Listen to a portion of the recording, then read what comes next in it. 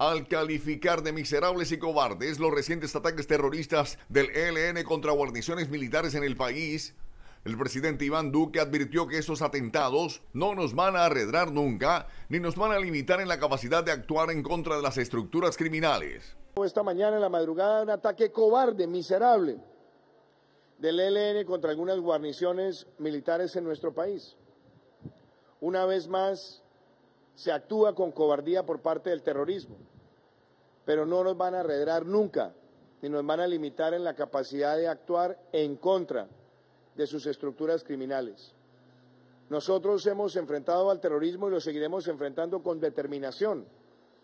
Y es nuestro deber dejar absolutamente claro, no solamente que le hemos propiciado a esa organización los más duros golpes en décadas, sino que hemos logrado por primera vez en la historia la extradición por narcotráfico de miembros de esa organización.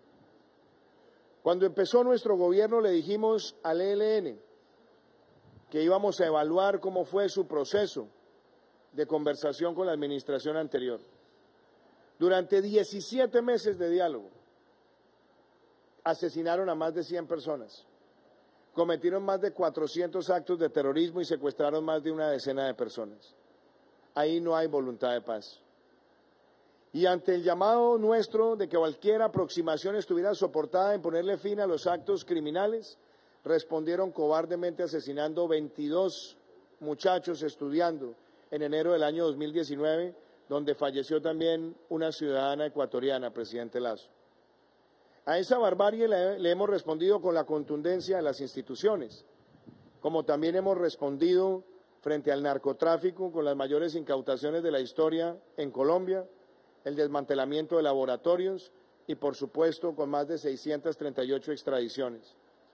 Y seguiremos enfrentando este fenómeno. Durante la instalación de la tercera cumbre presidencial de Prosur que se realiza en Cartagena, el mandatario reiteró que este grupo terrorista no ha demostrado voluntad de paz y que a la barbarie del ELN hemos respondido con la contundencia de las instituciones.